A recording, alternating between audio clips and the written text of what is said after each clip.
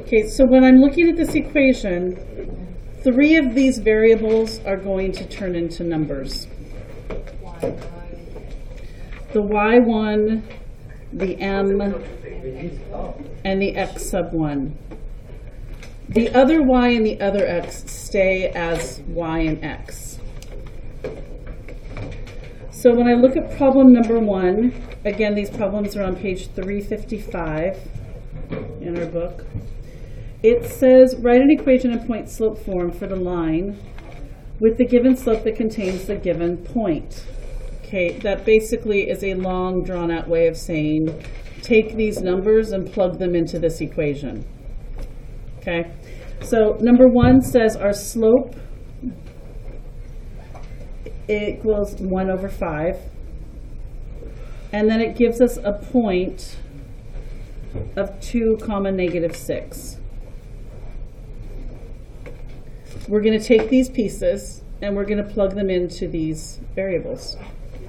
Okay, so let's rewrite this first as y minus, what's this y here? Negative six. In the formula, there's a negative, and in this pair, there's a negative, so that turns it into a positive six. Oh, okay. Equals, what's our slope?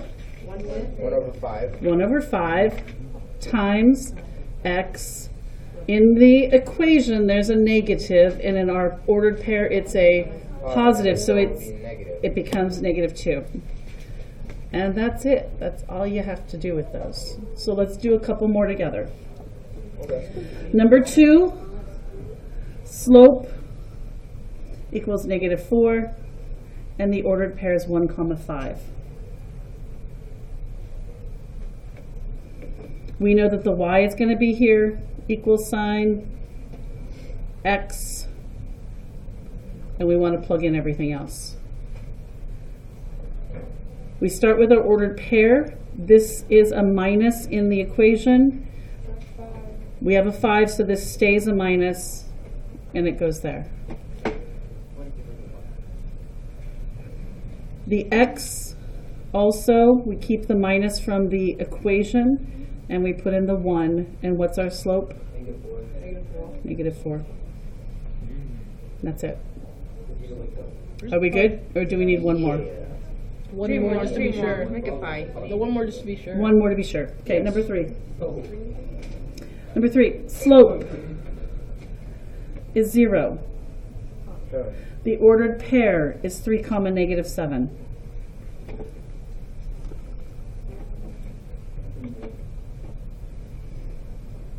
Y minus negative 7 is going to become a positive 7 equals a slope of 0 times x minus 3.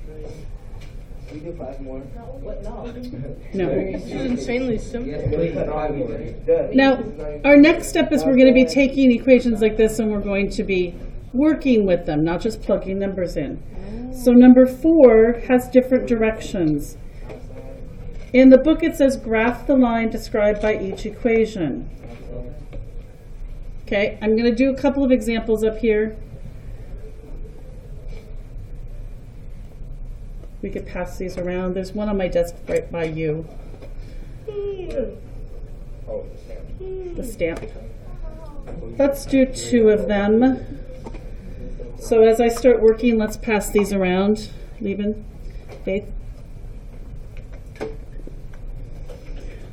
Number four says y minus one equals negative parentheses x minus three. Bless you. I want you to look at what's in the place of the slope here. What's there? It's an invisible negative one. And that's important because in order to graph this, there's two things we could do.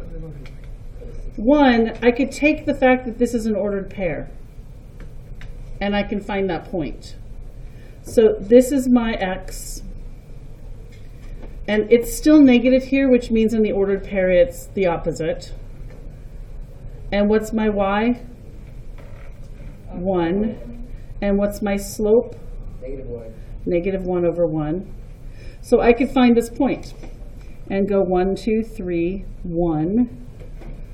And then I could find another point by using the slope and going rise over run. If I go down one and over one, there's my slope. Two points makes the line.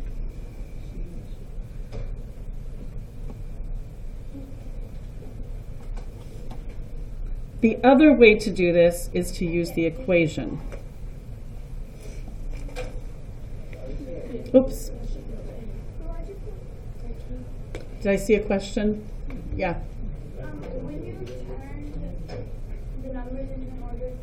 Negative? Because in the point slope form, there's a negative. So if they're in the equation with a negative still in front of them, that meant in the ordered pair they're positives. But see, that's why I don't like doing it this way, because if I'm going fast, I tend to mess that up, right?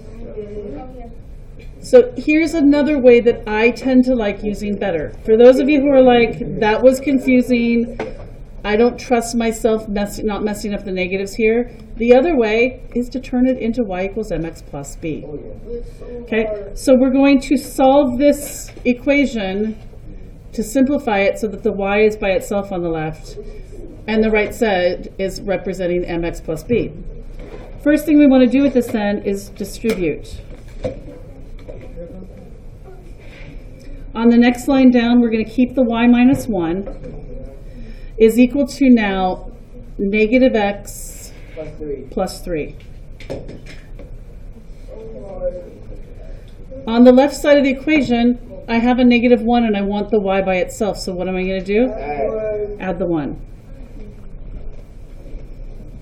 Y then equals negative x plus 4.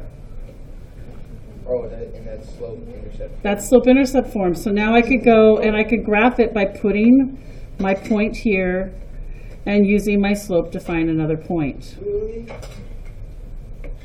Two ways to do it. This is the way people tend to think you should just by pulling things out of this equation. I like to do this. It's what I'm used to, and then I'm not worried about messing up the negatives. Okay, let's do another one together. I have a question. Okay, Uh, so when you subtract, right, from the left side, Yeah. you only subtract from one number on the right side. I'm combining like terms when I do that. When I'm adding or subtracting from both sides, I'm going to combine like terms.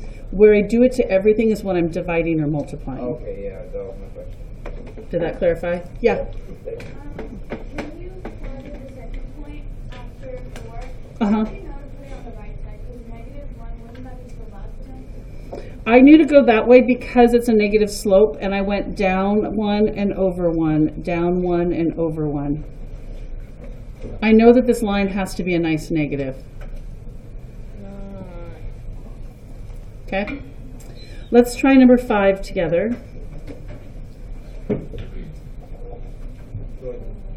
need a graph for that one too, right? Like, We do, but you know what? I think number five looks sort of simple. Let's do number six. It has a fraction in it. Number six says y plus one is equal to negative one half times x plus four. Okay. First way to do this, and I know that a lot of you probably won't do it this way, but I want to show it again, is to pull out of the equation the ordered pair and the slope.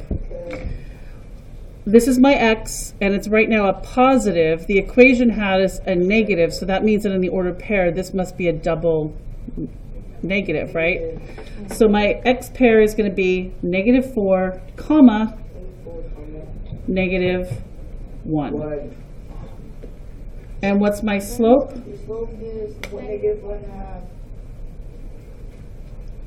Okay, so I can graph that. Negative 4, negative 1.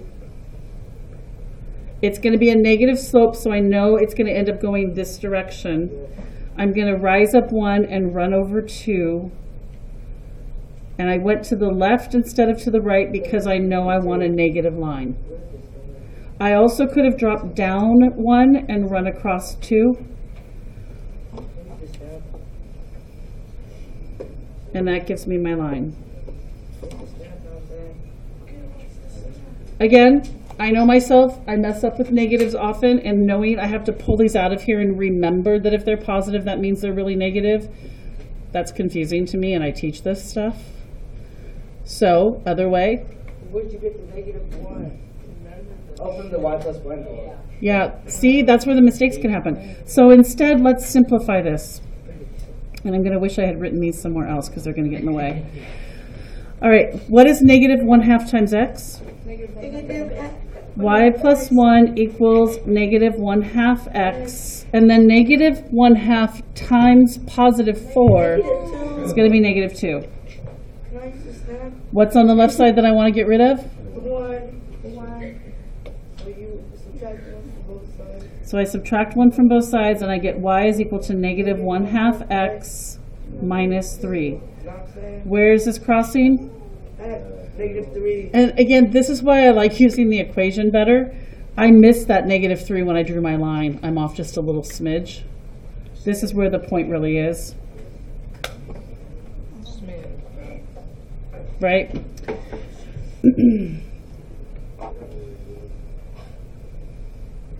Okay, I'm going to try to move a little bit faster for problems like number seven.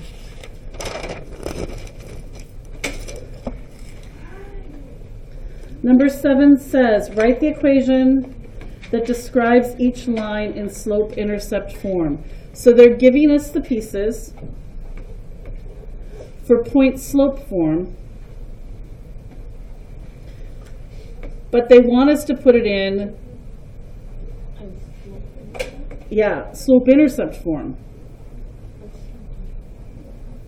Which is what we just did, right? We just took that equation and we converted it. Um, I want you to look at the problem for number seven says negative one third is slope. And then negative three, comma eight is on the line. I'm going to show you what the book wants you to do, and then I'm going to show you how I do it because I think my way is easier. The book wants you to say y minus 8 equals negative one third times x plus 3. Again, not my favorite equation because of all of the possibilities of messing up the positives and the negatives. Do you guys see where that can happen? Okay, and then they want us to say, okay, y minus 8 equals negative 1 third x. What is negative 1 third times 3? Negative 1. I'm going to add the 9 to both sides, and I'm getting y is equal to negative 1 third x plus 8. Oh, you're right. I don't know. I messed up. It's 7. Thanks for catching that. I was doing 1 and 8 in my head, I think, is how I came up with the 9. Okay, that's great. We got to the answer. Not my way I would do it. This is my favorite of those equations. y equals mx plus b. I know it's my favorite because I work with it in seventh grade math and algebra, so I use it a ton. You guys are pretty familiar with it too. I can take these and put them in here. What am I missing? I don't know my plus b from this information. You have to find it because that's your intercept. But we can find the intercept by plugging these in. Using your So my y is 8 Yes. Equals negative 1 third times negative 3 plus b. And I'm going to solve for b. Well, first I want to do this negative 1 third times negative 3, which is 1. 8 equals 1 plus b. Subtract 1. 7 equals b. And now I have all the pieces to say y Equal. equals negative 1 third x plus 7. Cubic. Same answer. And one of you, you don't don't have to deal with the negatives in that crazy equation. Okay.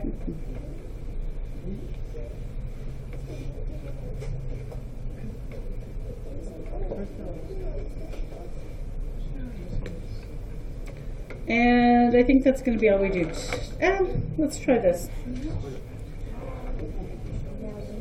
Actually, no, we're gonna stop there. Yeah, it's enough to add revenue. I want you guys practicing on this. It starts on page three fifty-five. You're going to do numbers seventeen through nineteen.